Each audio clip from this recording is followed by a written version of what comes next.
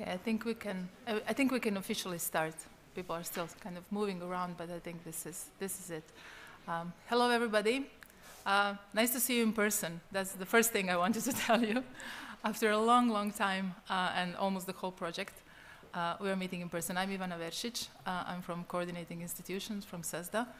Um, I hijacked uh, two minutes from, from Marieke to, to say hello to you, uh, to say how proud I am um, of this project, of all of us getting together, of doing a great job over 40 months. This is the last month, formally last month. We, we still have some reporting to do. Uh, but we achieved so much. Um, I remember uh, our preparatory meeting in, um, in Amsterdam at Schiphol, um, and there was a big room, and everybody at that point who, who were sort of involved in, service, in social science and humanities was in that room. And I remember thinking and actually saying at that first meeting, I think we already did it because we are in the same room, all of us together, which is kind of an achievement for so social sciences and humanities. And now we are here again after, after three something years uh, with a lot behind us, with a lot of achievements, and with um, I, I, will say, I'm, I'm, i hope I'm not jumping ahead of myself, but with, um, with a success story uh, for the EC and, and for RIA, I hope.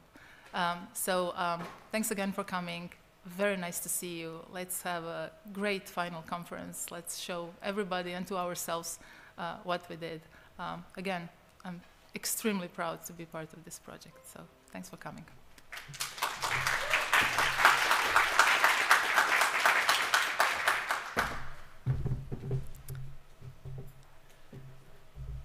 So thanks, Ivana, for that nice introduction. Um, as Ivana already said, welcome to the uh, SSHOC Final Conference, the Advancing SSH Research with SSHOCingly Good and Sustainable Resources. My name is Marieke Willems from Trust IT, uh, lead from the work package on communication and dissemination. So it's very special that we're here today in Brussels and online. So in Brussels, we're going to meet with about 90 people in person, which is something very special. Uh, after two years of uh, a lot of online meetings, a lot of online events, as Ivana already said. Um, but it's also very special that we have about 150 people joining us online with us over the coming two days. Um, and I want to thank the whole organizing committee and the program committee for putting this in place and making it possible for so many people to join us and to see what we've done, as Ivana said, over the past 40 months. Let me see if I know how this works. Yes. Okay, so this is the first session of the whole conference. So this is uh, the welcome plenary, connecting the dots for SSH implementation in EOSC. A few housekeeping rules for the people online. Uh, they can, you can add your questions in the box that you find in the, in the platform. Um, and the people in the room, old-fashioned, just to raise your hand and we'll give you a mic. The agenda of this session is a, a short welcome, then the ESFRI point of view of connecting those dots, then uh, this is brought to us by Ivana, uh, then the EC and EOSC point of view from Blagovesta Cholova, our project officer from the EC, and then we're proud to also bring in a researcher point of view from Edward Gray, from Huma-Num, CNRS, and DARIAH. And then we have some time to address the questions that you may have added to the chat, which you've raised your hand for, and some questions that we also had uh, for our speakers. A quick overview, just to remind you where we, we started, what we did. Uh, we started off with 47 partners, um, but we on the long, along the road we onboarded CES, SSH research infrastructures. Um, it lasted for 40 months. This is our last month. So in three weeks, we're going to close the project, but does, it doesn't close our journey. Um, the project budget, over 14 million. We're a research and innovation action, and that's our website. The expected impact. Well, we set out to um, to integrate uh, the social sciences and humanities seamlessly in the European Open Science Cloud. Um, we wanted to have uh, EU availability of high quality cloud ready SSH tools and high quality data. Uh, we wanted to maximize reuse through the open sciences and FAIR principles. Uh, we wanted to create an SSH open marketplace, and this is the journey that we set out 40 months ago.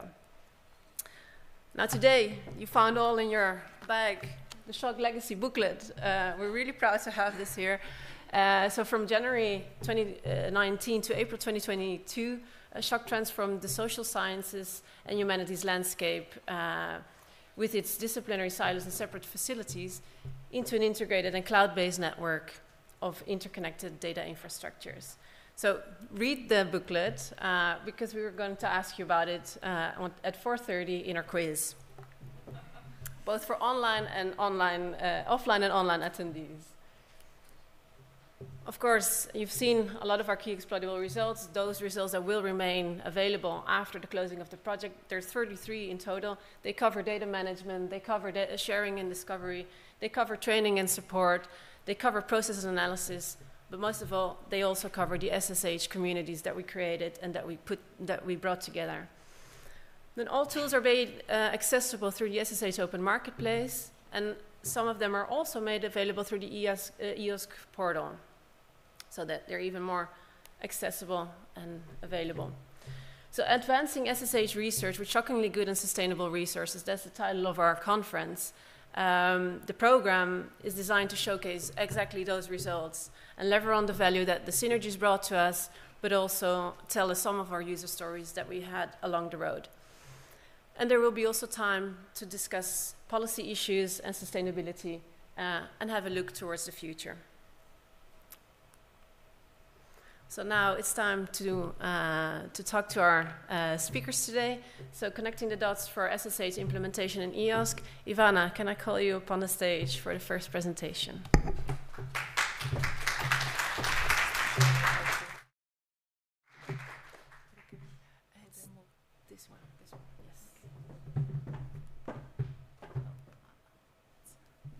Okay, so ESFRI, ESFRI point of view.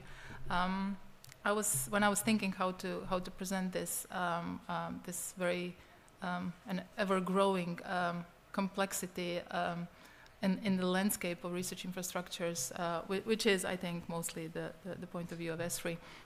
Um, I was thinking where to start. Should, should I start from the beginning, where there were just a few research infrastructures and then everything grew, or, or go from, from, from, from the backside, from more, more recent um, events? And, and then I obviously opted for the latter. Um, because um, we were, you were part of the journey, we were all together part of the journey, and I think we know enough about research infrastructures um, to, to know that it has been um, very challenging um, for single infrastructure, and then when you put them together, and then you add the new ones, and then you add all other stakeholders, so obviously it gets complicated. But I think the important thing is that um, EC recognized that, uh, ESFRI recognized that, um, especially with the, but Blago will probably correct me uh, if needed, but especially with the clusters journey when, when they started in, in, in 2019. Um, I think it, over the years it became um, sort of obvious that they are the new um, important players in the landscape and this, this new combination of, of infrastructures is, is maybe one of the ways uh, forward. So that's why I decided to actually go, go from, from, from the backside and uh, uh, tell you about the, the workshop, which was a joint workshop um, by the EC and, and ESFRI on 30th uh, and 31st of March, um, where um, in domain specific breakout sessions we were actually discussing the needs uh, for research and innovation on behalf of the research infrastructures and actually how to move um, to the next funding period of Horizon Europe and even more how to move beyond Horizon Europe and into the future, which is something that we actually couldn't imagine in the beginning of, of SSHOC. We, we thought, I mean, that is it, and then we'll just go on as we used to. Uh, I don't think there is going back after SSHOC, not the way uh, we, we, we, used to anyways. Um, it's, it's kind of a new normal, like after COVID and after SHOCK, which is not maybe the best comparison, but it's, you know, groundbreaking thing. So um, this is just an overview of what was, what was discussed at that, at that um, uh, conference workshop. Um, and um, it, it's kind of, it was acknowledged that there are, um, there is now broader landscape, more complex lands landscape with, with more actors, industry uh, or collaboration with industry gaining, uh, gaining momentum. Innovation is like the top priority. And of course, clusters, thematic cluster aspect it was like one, one of the, one of the uh, key aspects, transversal aspects of, of this discussion. Uh, and as I already said, how to, how to move after, after Horizon Europe. Um, so it was also paired, this workshop was sort of a follow-up on the high-level launch of the, of the uh, ESFRI stakeholder forum. So you can see that there are like parallel events or events building on each other uh, by the EC, by ESFRI, saying, okay, you are important, you have something to say. There is certain legacy that cannot be ignored. And that's why we want to follow this process and actually be in the process with you and see what you actually need from us, which I think is already a huge, huge win. Um, this whole process uh, of consultations was, was highly based and is highly based on the, on the uh, latest ESFRI roadmap.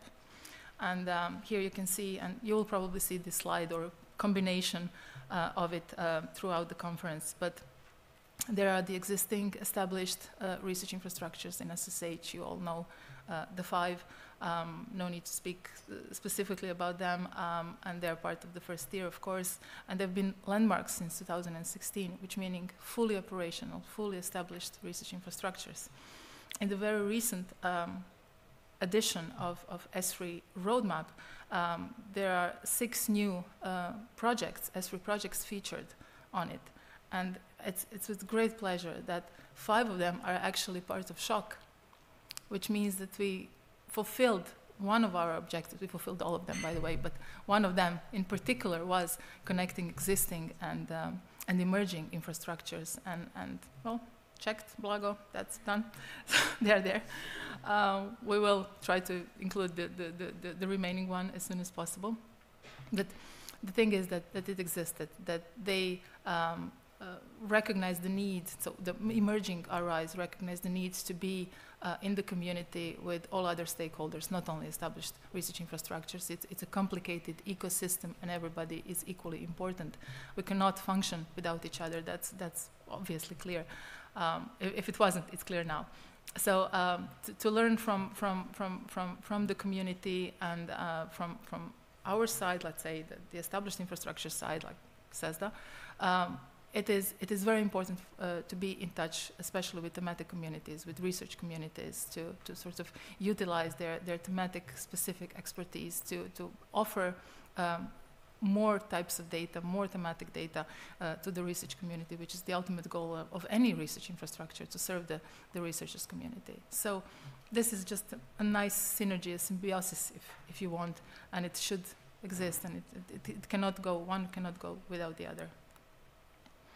So um, this is just to focus on, on research infrastructures. Of course, our ecosystem is, is much bigger, uh, but uh, just to show you the existing ones, the, the, the, new ones, some of them were with us from the beginning uh, in the project, like, like GGP or Wage Indicator of European Value Study.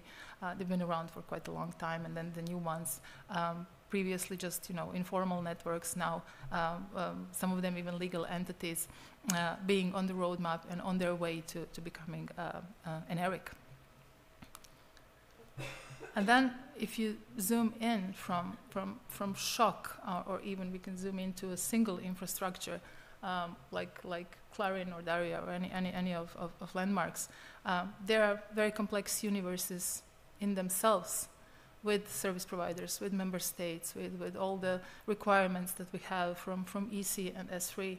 And we put all of us together with all of other partners in SSHOC.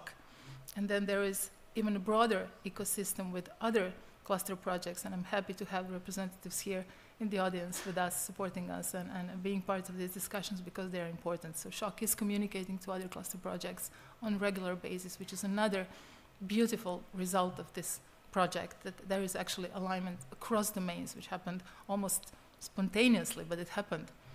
So we align ourselves, we align ourselves with, with, with the broader system, with other clusters, with other domains, and we are all trying to connect um, our thematic parts uh, to the European Science Cloud. So it is complex. I mean, you look at it and you, you get dizzy.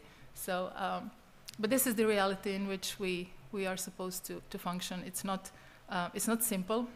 It's challenging for, for all actors. It's challenging for us, it's challenging for the EC, it's challenging for ESFRI to manage it. That, that's why there are parallel processes, not only thinking about the new funding schemes and, and how to actually do it in the future, but it's also how to monitor whole bunch of research infrastructures that actually emerged, all important, but they, in a way, to fulfill their purpose, they, they also need to be evaluated, they need to be monitored. So, so there are many parallel processes. It's not just we are all moving into one direction. It's a lot is happening on, on the side uh, in, as I said, already a pretty packed uh, universe.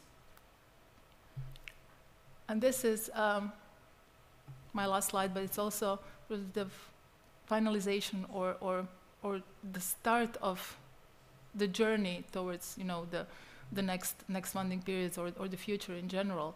Because in that same event, we went quite bold, quite ambitious. Um, at one point, there were talks about partnership agreements with the EC, um, domain roadmaps, so for the whole domain, doing it together, this community that is already sort of put together, that, that is an, an established community, um, have a strategic alignment within ourselves with other domains, um, move towards multi-annual funding, and I'm not talking about projects of three years, let's say seven or eight years, um, entry support for new, um, for new communities, for new infrastructures, aspiring infrastructures, which would, of course, lead to, to more uh, stability, sustainability, and ultimately, I, I, really do believe that better support to researchers. So, so things are changing in very, um, well, a few years ago, I would say very unpredictable and not even imaginable ways, but I think we are actually at the start of unimaginable, and um, I'm very happy that, that SSHOC is part of that. So I finish with this and uh, give it to Marieke. Thanks.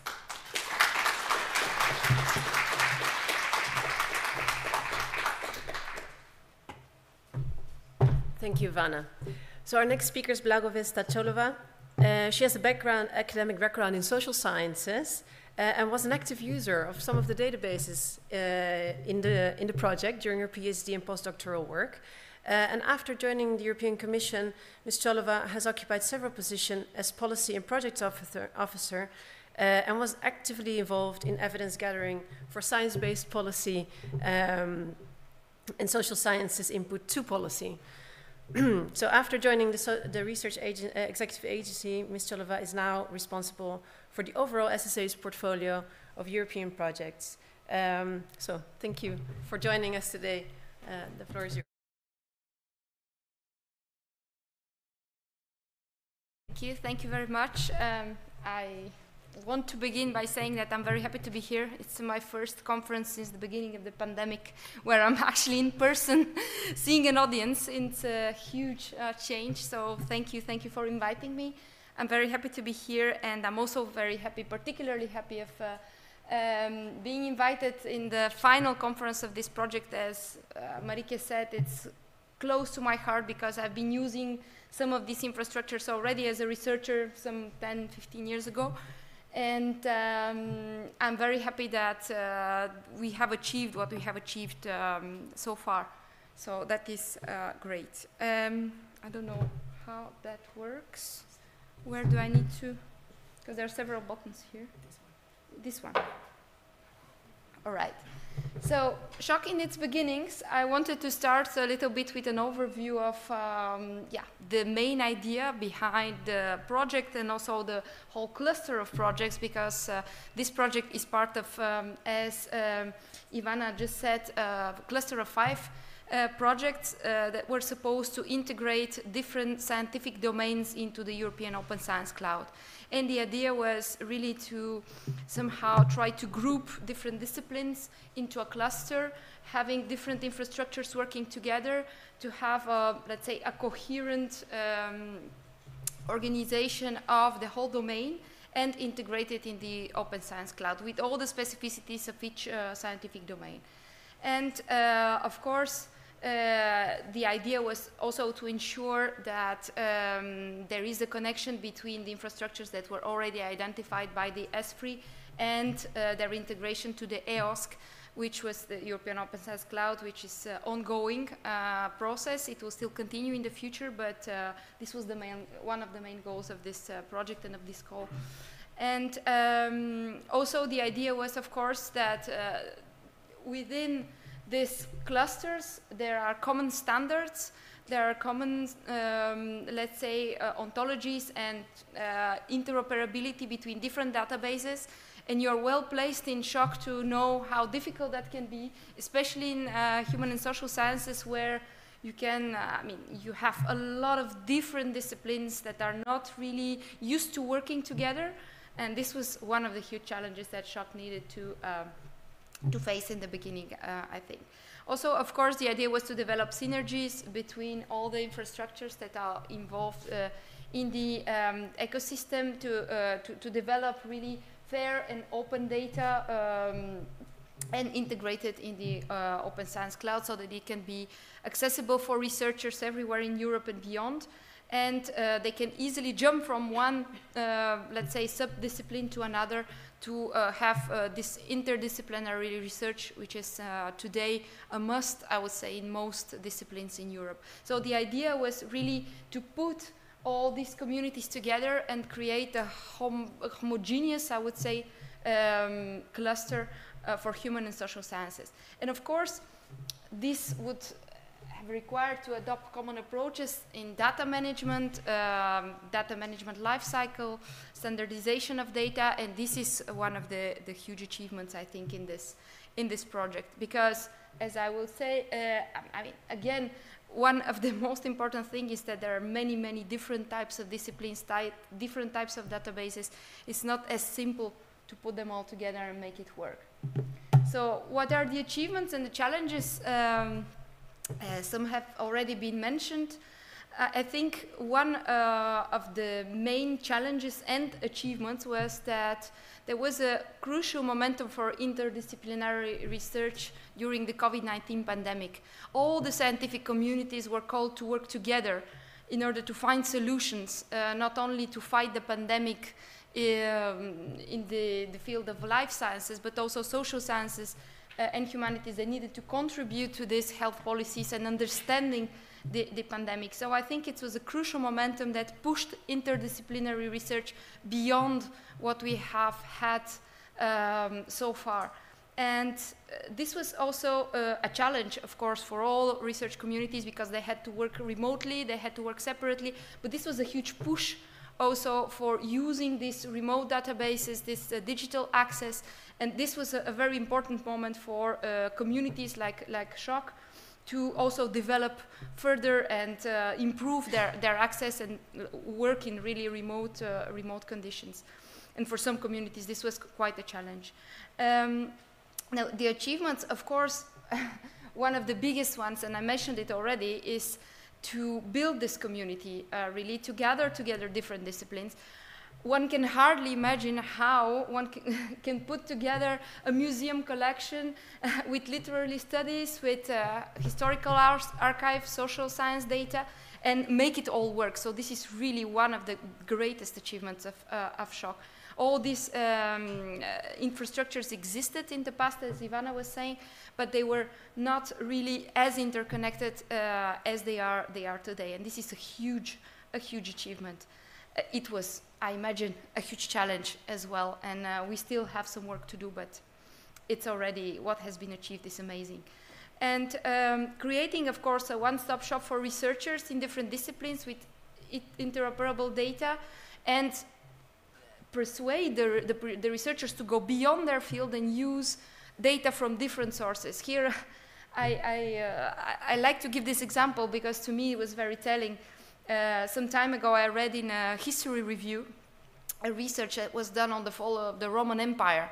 And the researchers, they uh, have um, come up with data from um, environmental sciences to prove that actually there was a point of a huge drop during the, the, the end of the, the, when, the period of the fall of the Roman Empire that provoked uh, probably lack of uh, scarce resources and famine in some places that precipitated the end of the fall of uh, Roman Empire. But this was a, an example of how historical science, hand in hand with environmental sciences, can come up with a new let's say, um, interpretation of history. And this is something great, and this is, I think, the way research will be done in the future. COVID is another example of how different disciplines came hand in hand to work together. So having interoperable data, but also having research communities of researchers that go beyond their field and they try to combine different types of data from different disciplines. This is the future of science, at least the way, the way, the way we see it. So it's very important to have these platforms, to have these databases available, accessible for all researchers. Um, and fair and open database, of course, uh, is um, uh, one, uh, one huge step uh, forward. Um, now, uh, of course, where do we go from here? There are still um, there is still work to do, and we are very much aware of this. Um, we, we, will not end with the end of this project, uh, end of this month. Um, for the European Open Science Cloud, at least uh, the next steps will be to consolidate the existing databases and also integrating new ones, as was also shown by Ivana. So this process will continue, the databases will, will continue to grow. Other uh, research infrastructures may join these uh, already existing communities, but they will join already, um, let's say, in a better condition with the ground already prepared for metadata, for interoperability, for standardization. They will not have to go through all this process um, again. It will be there for them to, to adapt and to just integrate their, their database.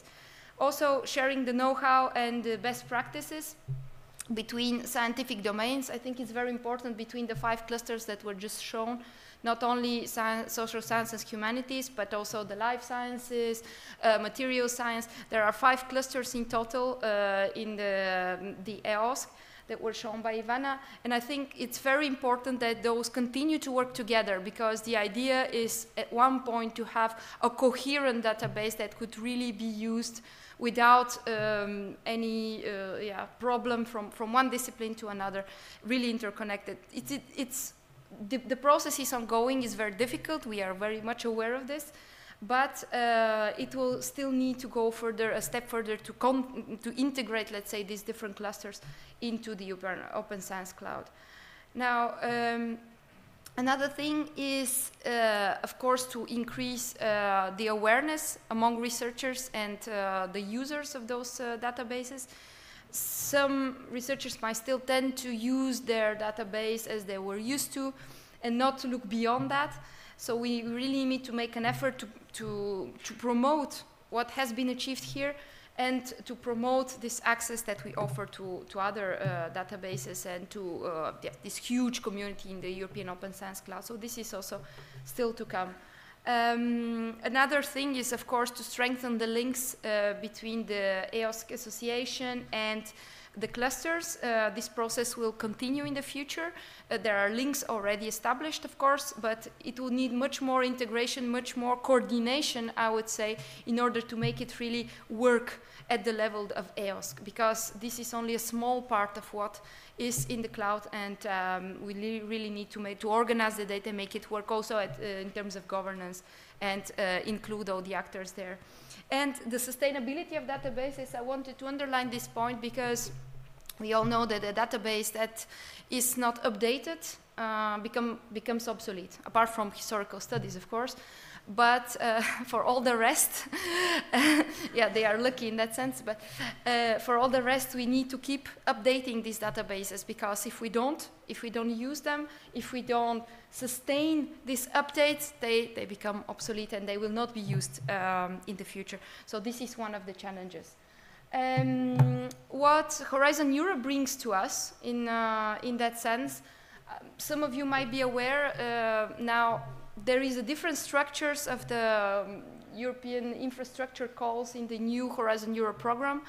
Um, so the communities will not be funded by discipline as it used to be in the past. There are a variety of calls, different ones, the uh, European Open Science Cloud related ones, are part of the new program, and there are specific calls for the, the development of the European Open Science Cloud, for interoperability of data, for um, improving some of the standards and so on. There will be specific dedicated calls for this in the future, but also um, the, the, the, calls that are more what we call the tech calls that uh, are concentrated on developing new tools, new methods that can also be used for um, developing, let's say, new ways to uh, improve the database with, um, let's say, a web panel, with digital tools, etc. So those calls can also contribute to the development of this, uh, this community and these databases further. And of course, um, the calls that are um, dedicated to the development of uh, existing and new, integrating new communities, internationalization of uh, the databases that we have, and uh, partnerships with uh, ESFRI and uh, beyond other uh, communities, but also the so-called serve calls. Sorry for the language of, uh, we, we, we hardly, I mean, uh, get rid of it in the commission.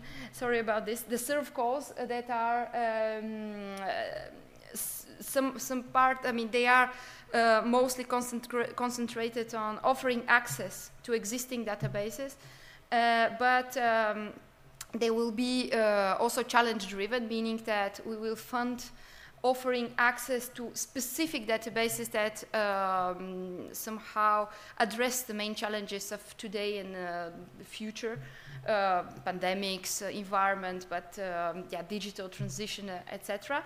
But also curiosity-driven service, service access to, and here is uh, where humanities come very often, calls that are really um, funding access to historical archives, museums, and um, other smaller communities to, uh, to, to, offer access to, to researchers.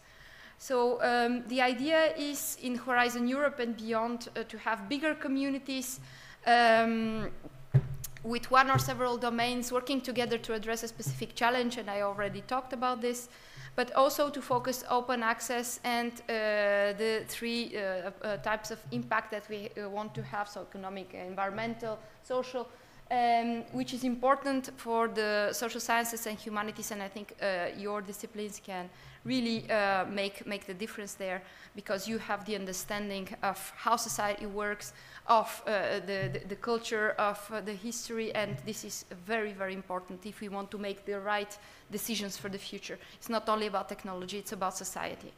And um, of course, what we would expect in the future is also links with other similar projects that are in different, funded by different programs, not within the research infrastructures program, like uh, Europeana that is looking into museum collections and making them uh, uh open, but it's not uh, focused on researchers.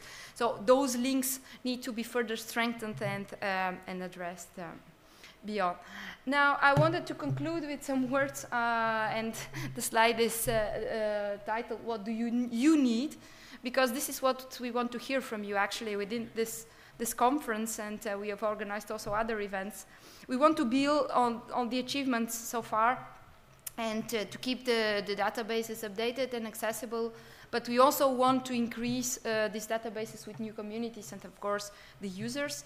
Um, and we want to improve still further the cooperation with other scientific domains, as I just mentioned, and improve uh, visibility and impact, which is also a point a bit weaker maybe in social sciences and humanities still. Um, some communities are much more active in showing their impact uh, on policy, on society. So I think an effort there uh, for promoting really, for um, making, uh, yeah, policymakers, but also society as a whole, understand the importance of these sciences needs, uh, needs to be done. So these are the priorities for us. And you would be the ones really to tell us how to achieve this and uh, what do you need as specific, um, let's say, uh, challenges that need to be addressed in the next programs so that we make uh, this uh, SSHOC success sustainable in the future and we build on this um, success to, to make it uh, grow and uh, develop even further. So I end up with to be continued because I really want to hear from you uh, in the panels uh, also, and I'll be participating in some of those. What are the needs? Because we are not funding um, the Open Science Cloud or in general uh, these grants uh, just because we have policy priorities. We want to make uh, the researcher community, um, we want to improve the conditions of this research community to, to work and to um, make not only excellent science but to contribute to the general challenges. So the needs are really uh, what we uh, what we want to address first, uh, first and foremost. That's um, that's the end of my uh, presentation. Thank you very much for your attention and um, yeah. Thank you again for being here.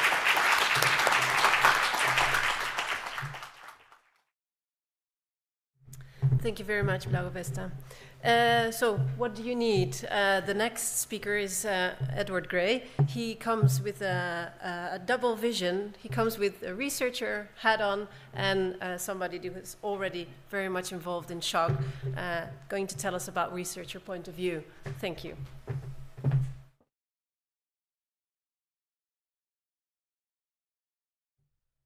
All right. Good morning, everyone. Um, Going the wrong direction. Very good. Um, so I'm here to give the researcher's point of view. And what I really have to say is that if we think about our end user, think of the typical researcher and be generous. They're not going to have understood a lot of the things we just talked about. It impacts them, it's very impactful for them. What we do is truly quite important.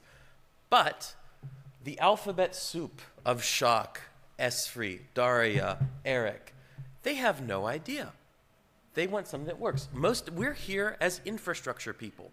We live for this. We love work packages. We dream about annual reports.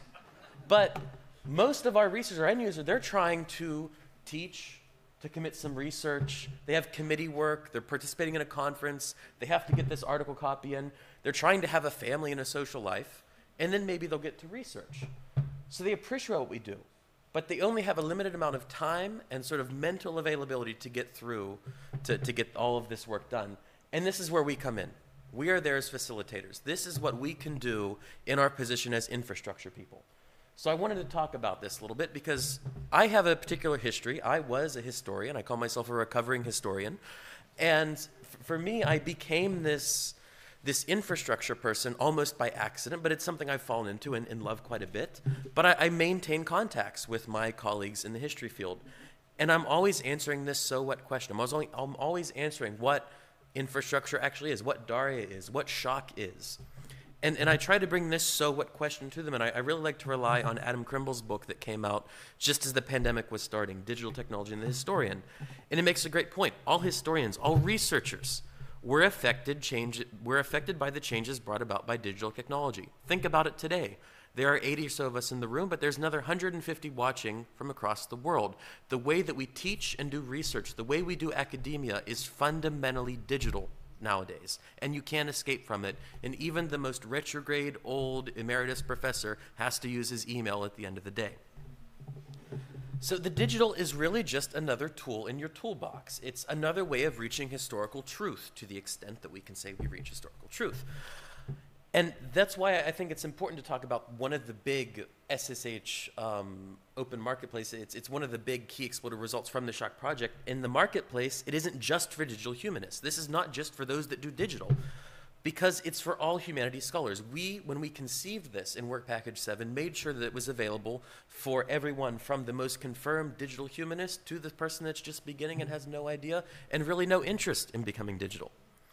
So I've thought of a few use cases here to really show why this is important. One is focused on geographic information system, and the other, near and dear to my heart, is on handwritten text recognition. And I also want to put a particular emphasis on training materials and workflows because what I really like about digital humanities, it's deeply collaborative.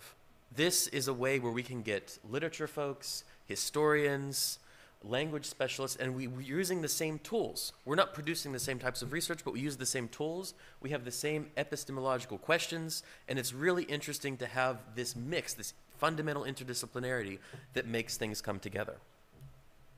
So let's think about this use case. So we, we have Nathan. He's studying princely voyages in the Holy Roman Empire. Again, I'm a historian.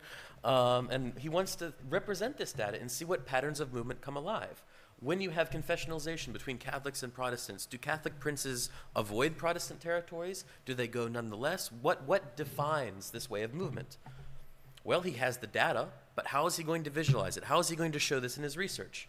Well, he hears from a friend about the SSH Open Marketplace and he says, well, I can find this. And he not only finds the tools, and it can be things such as StoryMap.js, MapWarper, Palladio, and so on and so forth, but he also finds lessons. He finds the training materials from the program historian that are necessary to allow him to undertake this analysis.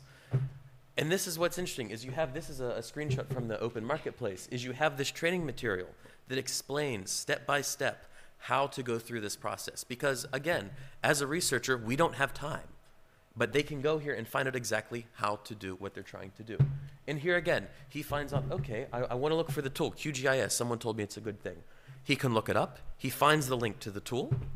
But he also finds, and that's the one in blue and on top, but he also finds in orange all the different training materials that can explain to you how to use QGIS.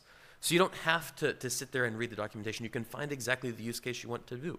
It also recommends another related tool, GrassGIS, that maybe is more adapted or maybe not. But he can make that decision. Nathan can decide what is the best thing for him to move his research forward.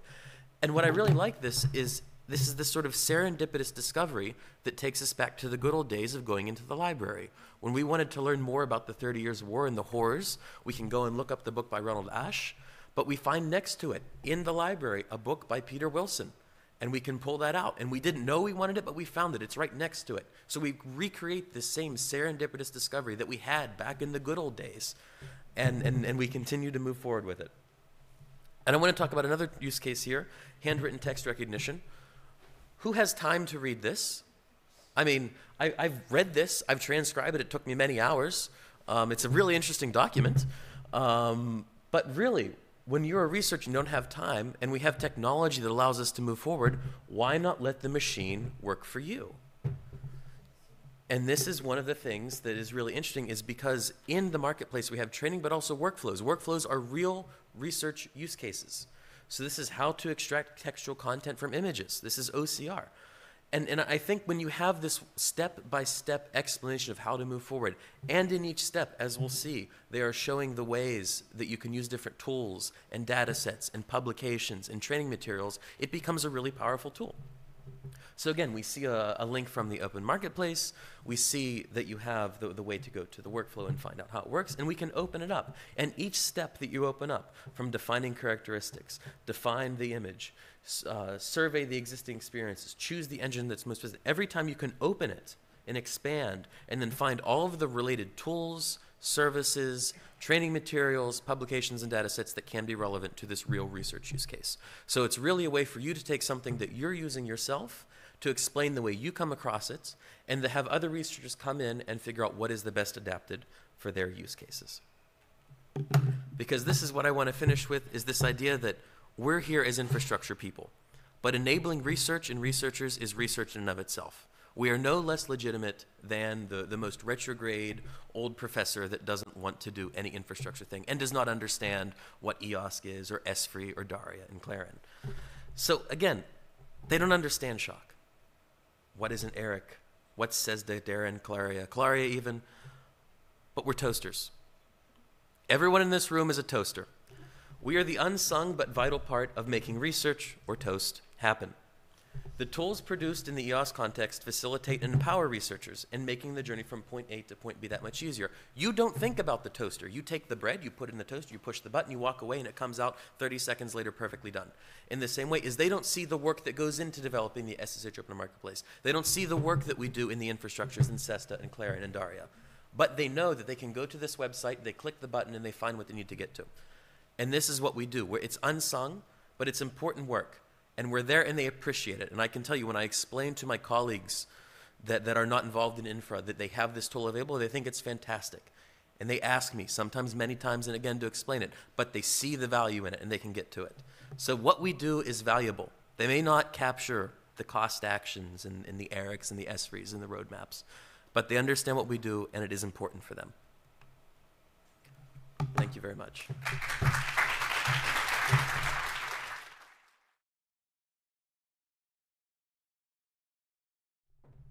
Thank you, Edward.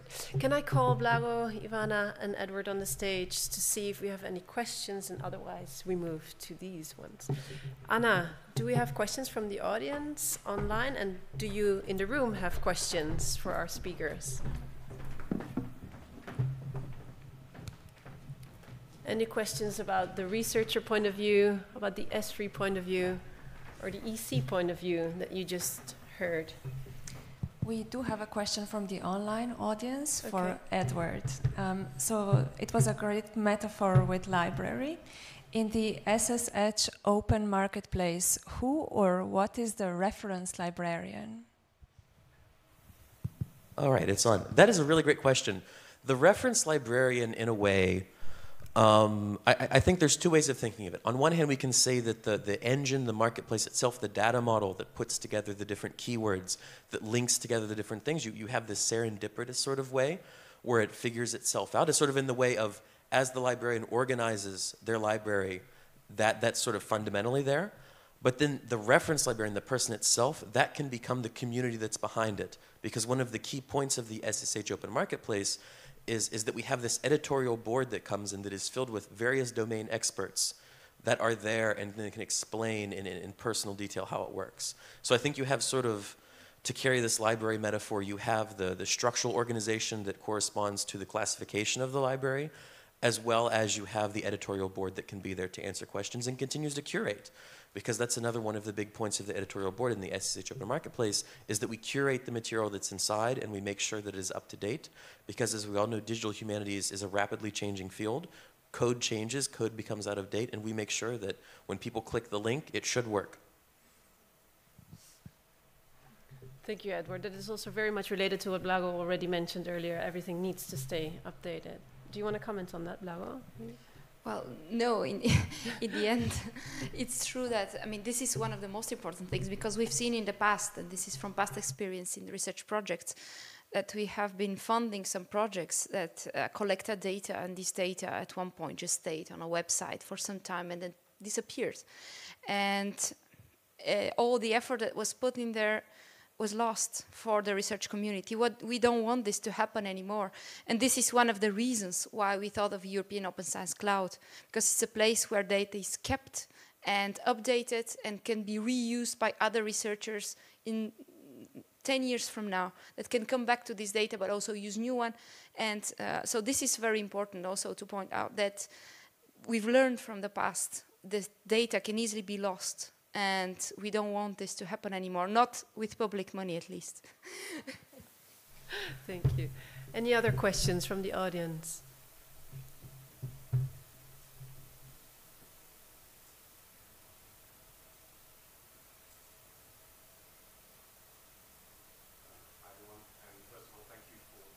Is this on? Yeah. yeah. Hello. Uh, yeah, first of all, thank you for the really interesting presentations and for the amazing work being done. Um, my question is that I think we all know as, as, scientists that the existence of tools isn't nearly as important as the understanding of how to use them. I think we, we all know uh, the master students who are only just discovering uh, JSTOR and uh, EndNote and, and, other associated tools. So my question would be, uh, what has SSHOC done, what can SSHOC do, what is being done in order to increase awareness and literacy about the use of those tools, perhaps even before the academic career begins, uh, during the education, bachelor's, master's, etc.?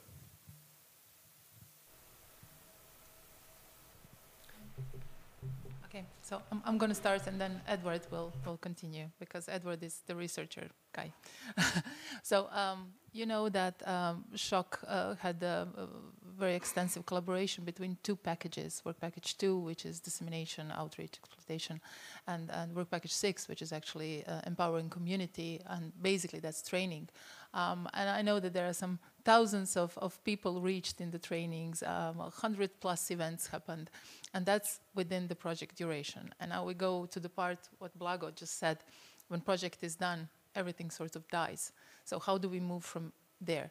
Uh, from the SSHOC point of view, I can tell you that we are working actually very hard to continue with this community, with collaborations, and, and you are all aware uh, that there is an MOU that is already in place, being signed, and um, this will actually be sort of the launch for the broader community, community to join. But even though it's not legally binding, it is, it is a connection, and actually a pretty powerful one if taken seriously. And I, and I think that we all want all of this to continue. As I said, there is no going back after SSHOC. Uh, at least I don't see it. Uh, so um, there is a challenge in telling researchers, uh, telling the community that we exist for, how to actually use everything that we have produced, how to help us to advance what is still not finished or need need polishing, because we also have that kind of stuff. We, we didn't manage to do everything perfectly, of course, we would like to say, but it, it is the majority, and there is always work to be done. And what Blago said on a more sort of abstract level, there, there is work to be continued, uh, especially on interoperability and, and users, as, as you heard. So there were quite a lot of work done in SSHOC uh, on, on spreading the word uh, about the tools and services and everything that we have. Uh, uh there is a firm plan how to continue collaboration. Um, there will be new funding, there will be new calls, new projects where we could then within this umbrella um, agreement of the MOU, think how to combine, you know, different different partners into new new uh, new projects and continue. Uh, and of course, there is exploitation plan, and there are plans for for majority of tools and services how to actually continue uh, by being sustained uh, by partners. So um, it is a bit broader than than you asked, uh, but this is what SSHOC has been doing and is planning to do as, as a community to, to continue. And, and now I give it to Edward to, for, for, for the exact, you know, pin, pinpointed researcher perspective. So yeah, I think it's it's it's a really great question. This question of sustainability and and also training and how do we continue to make sure that we reach out to these communities. And I know on one hand, we worked very hard to make sure that the training resources that were produced by our colleagues in Work Package 6, in collaboration with all the other members of the project, are sustainable. They have been placed into the SSH Open Marketplace. Um, we were working on that the, just this past week, and I, so I know, I've seen it, I've done it. Um, so that's already in there. But it's also this question of you have this I, I want to say almost like physical infrastructure aspect of yes, it's in the marketplace. This stuff is being kept along. We, you know, we've uploaded presentations through various like you know things are on Zenodo, so they're always going to be there theoretically. Um, but it's also the question of knowledge. I mean, this is something that I know that we've done with the CNRS is Nicola and I, we've gone forward and had meetings with folks in national conferences where we've explained what we're doing and the things that we've learned. And then afterwards, we get solicited for our knowledge on, you know, this is for the, the data citation we're working on. So this continues, you, you create sort of the human infrastructure that has the knowledge through these projects, that spreads the knowledge to others who can then spread that knowledge. It's almost like a contagion, um, since we've all learned over the past few years how, how disease works. Um, but you also have the, this aspect of it is physically put into, well, digitally put into the marketplace uh, where it can still be accessed. Thanks. Are there any other? I see a question there. Thank you very much. So my question is more for the for the European Commission. Uh, so some dirty minds say that the cloud doesn't exist; it's just someone else's computer. Uh, so with with that being in mind, uh, and I appreciate what you said that uh, we need to be sure that data is available in 10 years. But what I would say that in, in the SSH area, this is more in terms of centuries that we may have to reuse data.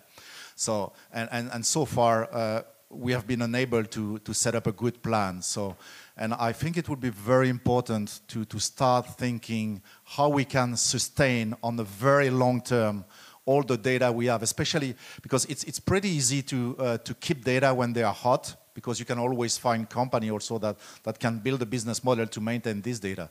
But after some period of time when, when the data get colder and colder, it's much harder to sustain them. And, and this is where I think the European Commission and the member state have to step in to ensure that this data will remain available for centuries, no matter how many people are looking into it, because one day maybe they will become crucial and, and vital for us.